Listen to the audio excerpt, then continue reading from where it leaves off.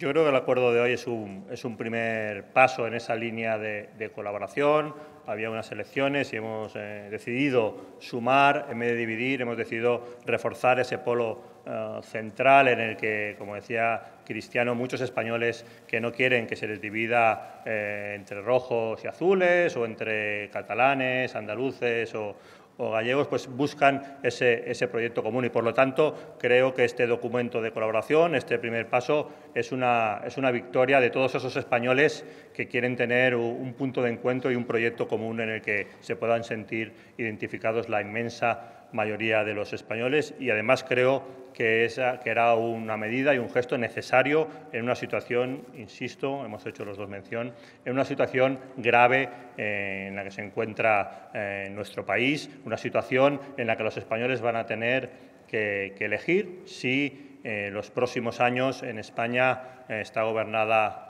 por los populistas, los separatistas con Pedro Sánchez, o si hay otra alternativa enfrente, en este caso una alternativa liderada desde el centro, desde ese centro liberal y progresista al que, al que se refería Cristiano. Por lo tanto, una victoria, yo creo que para, para los españoles, para muchos españoles que se van a sentir identificados con ese, con ese, proyecto, con ese proyecto común y un primer paso. Esperamos pues, trabajar, trabajar en esas elecciones generales, autonómicas y municipales y a partir de ahí, con ese trabajo conjunto, poder estrechando los lazos y la colaboración entre los dos partidos.